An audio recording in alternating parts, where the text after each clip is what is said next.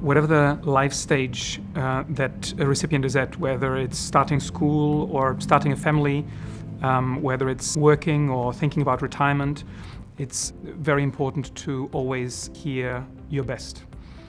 The, the, the, sound processor is, is literally going through the rough and tumbles of, of everyday life, and uh, it's certainly designed to, uh, to do that. But that also means, like with any high technology product, um, that there are moments in time when um, upgrading to um, the latest technology to, to a new device is, uh, is highly recommended. The great news is that in order to take advantage of all the uh, benefits that a new sound processor uh, can and would deliver, there is no requirement for additional surgery.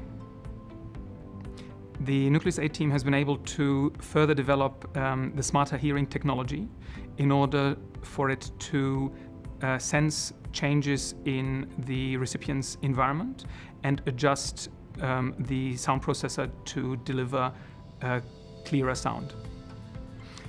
Whether chatting to friends at a party, participating in classroom activities, or in uh, meetings at work, we are certainly very much aware that um, hearing in noise continues to be a challenge for recipients.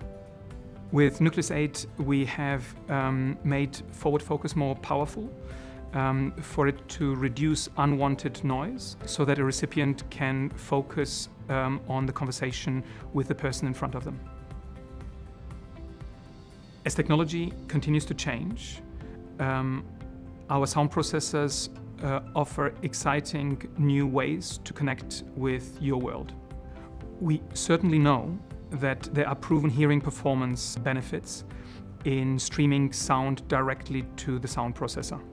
With the new Nucleus 8 sound processor, you will not only be able to stream um, music, entertainment, and calls from compatible Apple and Android uh, devices, but from many more devices that are utilizing Bluetooth uh, LE audio uh, platform.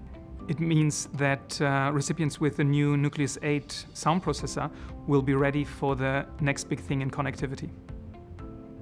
With every new sound processor, Cochlear endeavors to develop a smaller and lighter uh, device than the generation before it.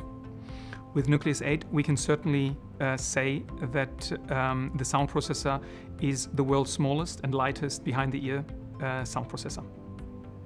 If you are as excited about Nucleus 8 as we are, please contact your um, clinician in order to find out more.